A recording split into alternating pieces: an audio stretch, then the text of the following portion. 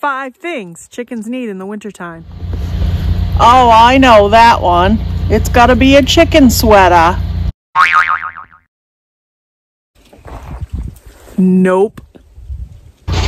It's gotta be chicken booties, like these.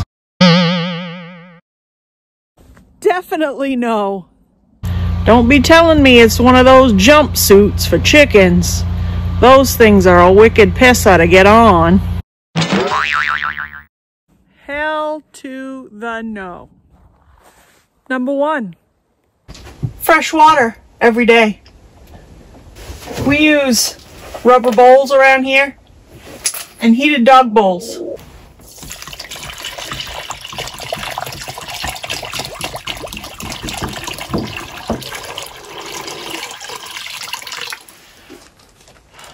Number two, access to good quality food.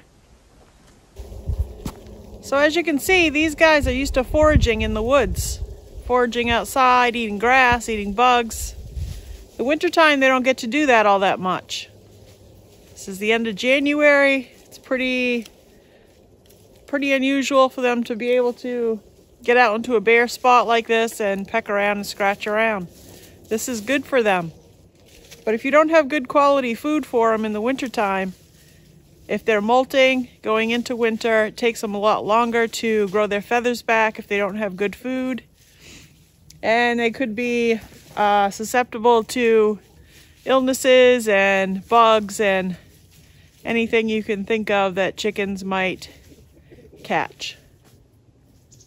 So if they can't do this in the middle of winter, give them some good quality food and they'll be they'll be on the right track to being healthy all winter.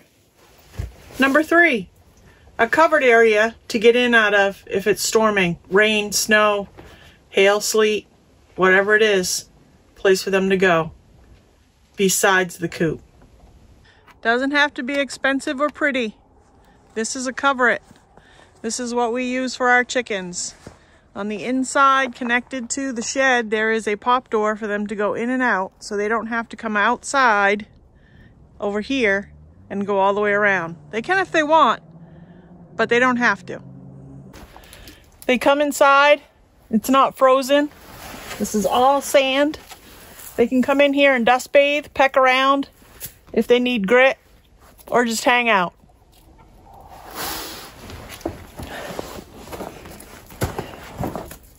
You can go in there if you want. Number four, they need a dry, draft-free shelter for the night. Our chicken coop has two windows. This is the big window, and then it has a small one on the other end. And it also has a door in it. The draft-free part is going to be up there in your eaves. Can you see the eaves? I've got it all enclosed up there so that there's no animals that can get in and out of there, but we can get air in and out.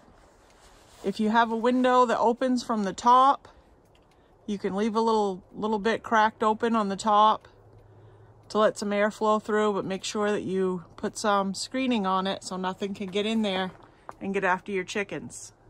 This is the other side of those eaves. I don't know if you can tell with the light colors that you can see through there is the sun shining through. So it's open so the air can flow in and out. I do have a window.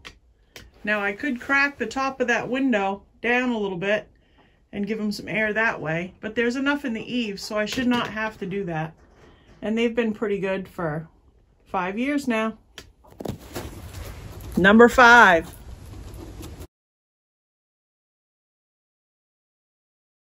If you want your chickens to lay in the wintertime, you have to supplement with light. I turn mine on on a timer.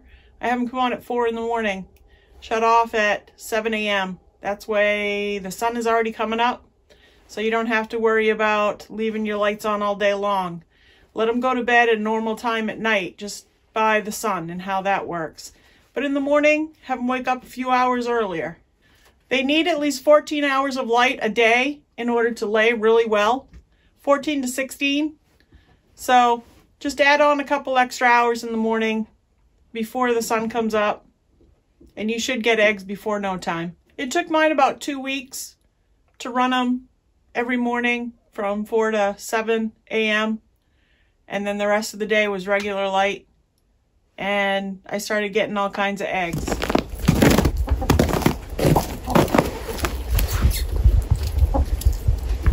Bonus number six, come and hang out with your chickens.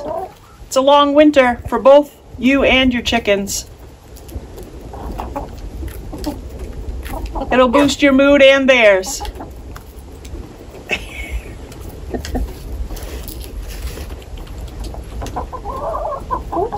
What are you doing? Look at you. You've got all kinds of stuff in your frock.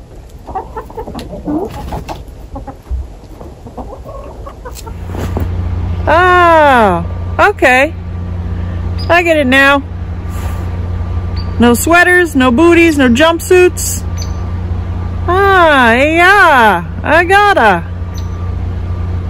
Good to know. Hope that helps.